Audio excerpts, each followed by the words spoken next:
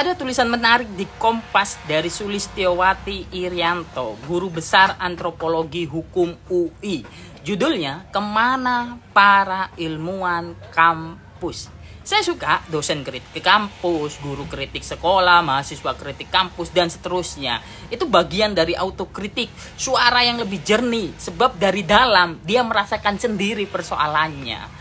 Dalam tulisan tersebut, Sulistiowati mempertanyakan kekakuan, kerumitan, inkonsistensi, regulasi, dan birokrasi dari Kemendikbud. Semua itu akan menumpulkan nalar ilmu para ilmuwan kampus. Beliau mengutip pikiran Bung Hatta. Pangkal pikiran pendidikan karakter adalah cinta kebenaran dan berani mengatakan salah pada sesuatu yang tidak benar Bagian menariknya, menurut beliau, secara alamiah, universitas seharusnya tumbuh dari kesejarahannya, konteks geografi, dan sosial budayanya. Gampangnya, universitas di Papua harus terdepan menyuarakan soal kehutanan. Maluku juga perlu terdepan dalam bidang kelautan, dan seterusnya, dan seterusnya.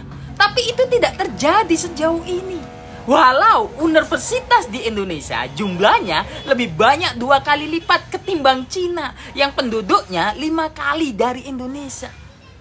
Dalam penutupnya dikatakan berbagai regulasi pemerintah justru mengalienasi dosen dari masyarakatnya. Bahkan beliau mengutip konteks film Oppenheimer saat ilmu dari ilmuwan dikooptasi oleh kepentingan kekuasaan, capaian intelektual jadi bumerang dan menyerang kemanusiaan serta peradaban. Sederhananya, saya menangkap tulisan tersebut mengajak semua pihak intelektual agar independen, memegang teguh kebenaran dan melawan segala kesalahan.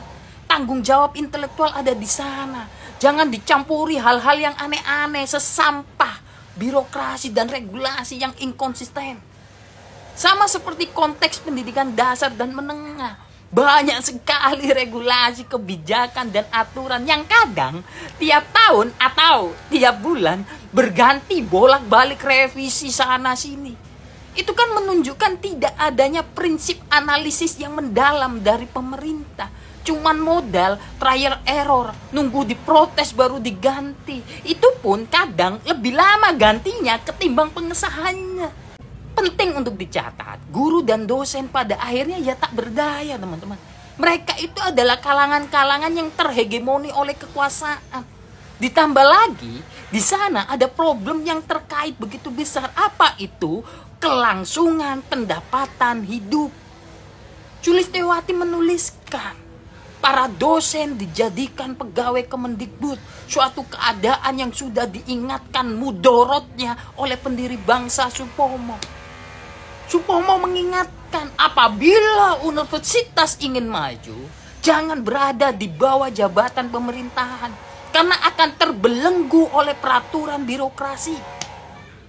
Di pendidikan dasar menengah juga sama saja persoalannya. Nasib dosen dan guru itu setali tiga uang. Jadi perlu untuk kalian literaturkan, renungkan persoalan ini. Kita berada pada persoalan yang sama. Sebagai penutup, tetap ingatlah kata Bung Hatta.